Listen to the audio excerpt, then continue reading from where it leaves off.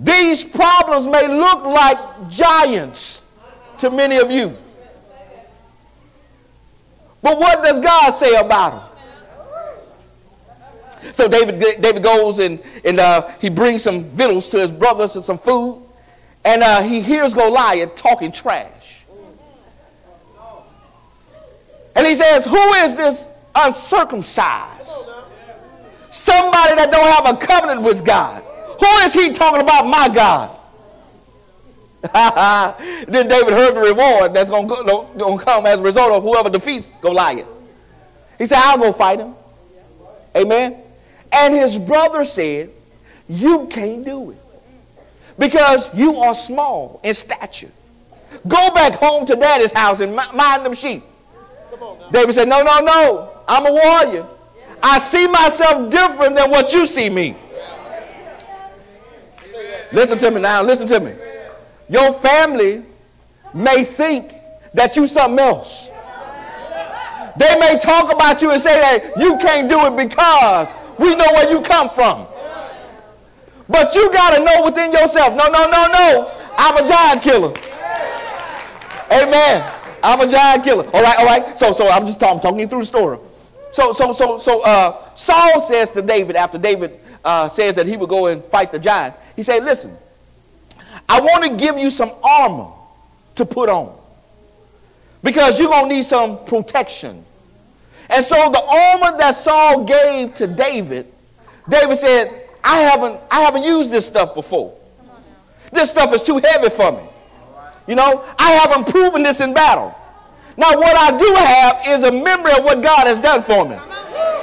I remember how God delivered me out of the hands of a bear and out of the mouth of a lion. And who is this uncircumcised Philistine? Amen. See, see, see, watch this now. When you start seeing clearly from the spirit realm on what God is doing, you will see that the devil is fighting you for your faith. He's fighting you for your faith because he understands that if you have one faith victory, all of this stuff that's on the stage is gone. See, if you just if you just win one time and remember what God done for you the one time in the past, this stuff up here ain't nothing. Ain't nothing. So David said, No, no, no, I haven't, I haven't proven this stuff. I haven't proven this stuff. Now I, I, I see myself as a warrior. I see myself as a fighter. So I need to go, I need to, I, I can't go up against this giant hand to hand combat. So what I need is I need something that will propel itself. So he goes to the brook and gets some stones. He says, now, now, now what I do have, I have the anointing on my life now. Now remember, in chapter 16, he just got anointed. Now the anointing is more than him just being king. He's going to be victorious. Listen to me. The anointing is more than just a shout. The anointing is more than just a dance.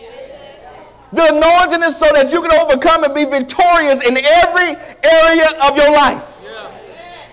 Amen. So David goes down there and get them stones. And he said, I see myself as victorious in the name of the Father. I can see that. I can just see David say, I'm going to knock him down. I'm going to get this boy. He threw that stone, hit Goliath.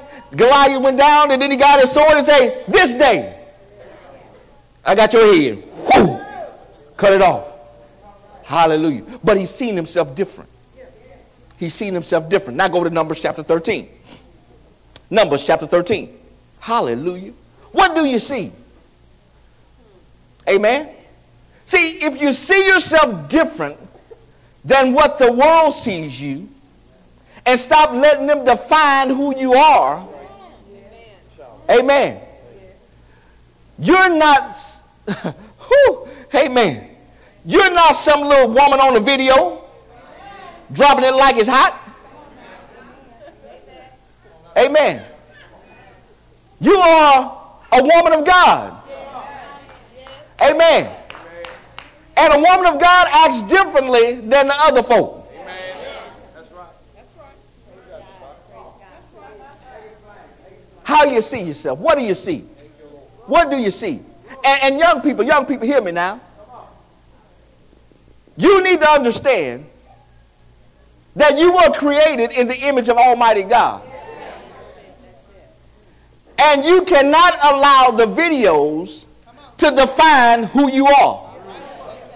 You start walking different because they, you seen it on the video. You start talking different because you've seen it on the video. And you must understand that you were created in the very image of God. So you got to take your image not from what the world says, but from the creator of the thing. So if God says that you're a mighty man of God, no matter what your daddy said in the natural, no matter what your mama said, you are a mighty man of God. Amen. Amen. Ladies, I don't care what you've done. Don't let the devil tell you anything different. You are a virtuous woman of God. Amen. And your Boaz is looking for you. yes, he's looking for you. But you have to see yourself differently than what you, uh, you've been seeing already. In, in, in Numbers chapter 13. Numbers chapter 13. Numbers chapter 13. God gives the children of Israel an assignment. Go out, spy out the land that I said was flowing with milk and honey. Right?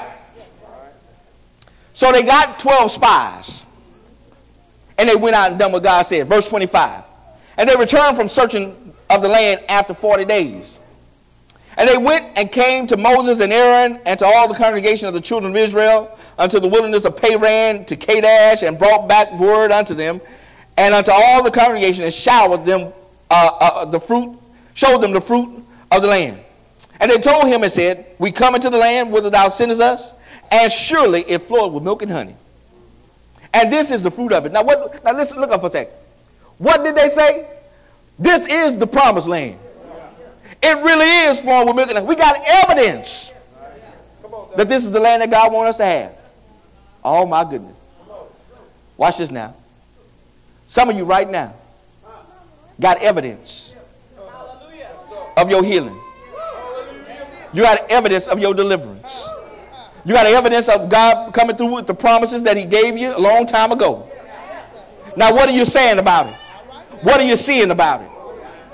Now, these people said, this, we, we got evidence of this thing. But watch this, watch this. Nevertheless, look at that contradiction. That's like a but. But,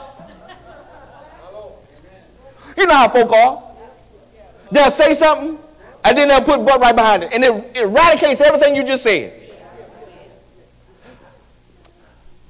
I'm healed by the stripes of Jesus, but. Well, you just erased all what you just said. They put that nevertheless in there and wiped everything out. Nevertheless, the people be strong that dwell in the, in the land, and the cities are walled and very great. And moreover, the son of, of the children of Anak are there. The Amalekites dwell in the land of the south, the Hittites and the Jebusites and the Amorites dwell in the mountains, the Canaanites dwell by the sea and by the coast of Jordan. And Caleb stilled the people before Moses and said, Let us go up at once and possess it, for we are well able to overcome it. But the men that went up with him said, We be not able to go up against the people, for they are stronger than we.